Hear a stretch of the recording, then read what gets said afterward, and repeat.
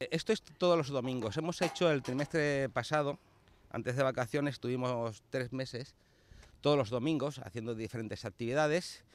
Y ahora pues empezamos otro trimestre, eh, la semana pasada eh, empecemos y estaremos hasta finales de, noviembre, todos los domingos. Entonces se hacen juegos diferentes porque no son, juegos habituales, los típicos, pero bueno, un poco de ingenio y, material y, la idea es que se lo pasen bien.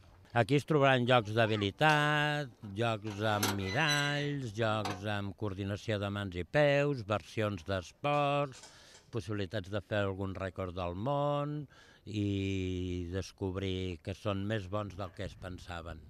Faig el que puc perquè la gent vegi que la imaginació serveix, que la imaginació serveix per tot, que els materials tenen una vida més llarga que per allò que van estar fets i aquí em dedico a fer jocs amb coses velles.